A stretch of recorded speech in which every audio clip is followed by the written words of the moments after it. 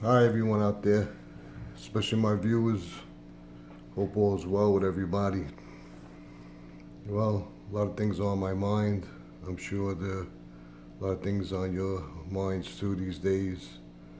Now that we know that the earth is flat and the Lord, the Lord um, revealed that to us.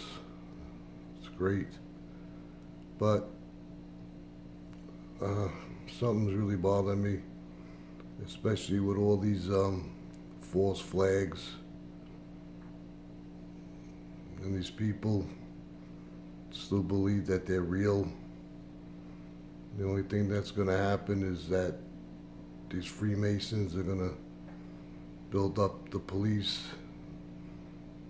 And the police will probably come like military men to get them ready for what's going to happen probably in the near future.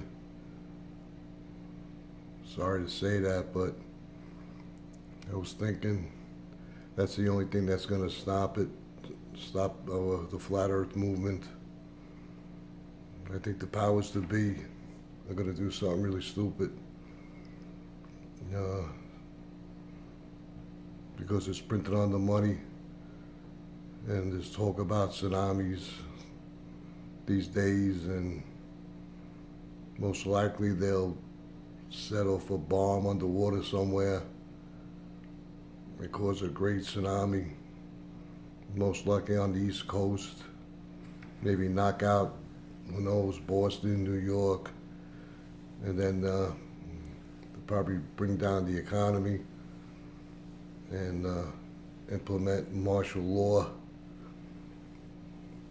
I see it coming. And then they'll probably say, to feed into the lie, yeah, the tsunami was caused by like a meteor that hit the earth. And so many people believe that nonsense. But we have to stay on guard, get ready. I noticed when I'm driving like on the I-10 here in Phoenix, you see these workers, they're working on the freeway, but I see like, when I look, when I drive by, I, I don't see no work. All I see is like these big, big tops and these lights.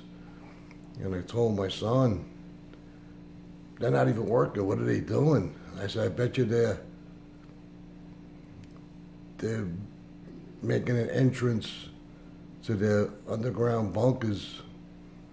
I mean, they can get away with it. Just dig a big hole to connect underground and drive these tractor trailers in so they can bring all their supplies to them because they're going they're starting to get ready for something big to happen.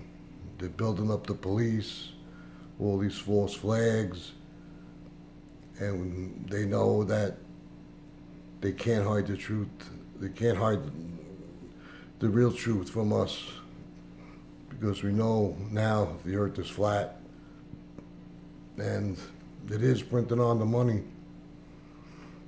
You know, the Hoover Dam blowing up and a nuclear weapon hitting the waters of New York.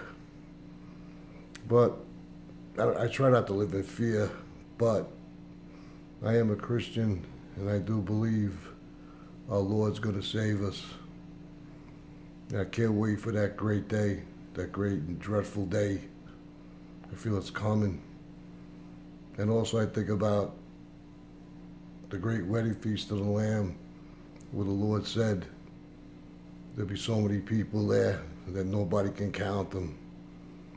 And we'll be able to see all the people, all our loved ones who suffered and died with Christ and there'll be no more pain and no more suffering.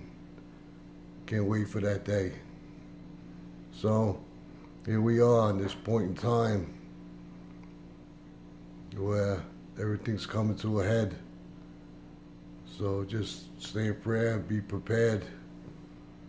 Well, like I always say, all things must pass until our Lord appears.